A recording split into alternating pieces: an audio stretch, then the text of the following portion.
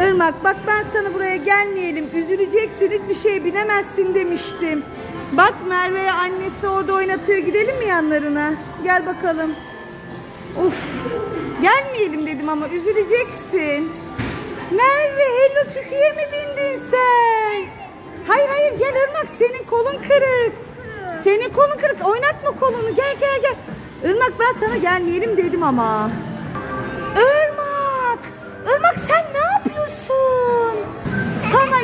Dedim ama Irmak hiç oldu mu şimdi? Dikkatlice tut elimi gel buraya in şuradan. Ah Irmak'cığım ay bak bir daha düşeceksin bu sefer öteki kolun da kırılacak. Hiç oynayamayacaksın. Uzak durur musun gel. Biz buradan Merve'yi izleyelim gel.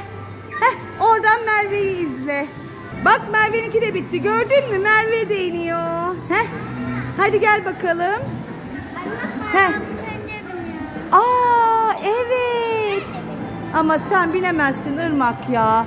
En iyisi gel Irmak biz eve gidelim Irmak bak sen dur Irmak dur beni bekle. Irmak, Irmak, Irmak sen benim sözümü hiç dinlemedin bugün. Ne yapıyorsun Irmak bak kolun acıyor değil mi? Şimdi ben seni oradan nasıl indireceğim kızım bu çalışırken indiremem ki. Tüh o elini bırak bari bu elinle tut. O elinle tut bu elin böyle kalsın. Tamam bu elini ben tutacağım artık. Dur tamam hadi. Ben sana binme dedim ama. Irmak şimdi hiç mızmızlanma inemezsin. Çalışıyor sıkı tutun.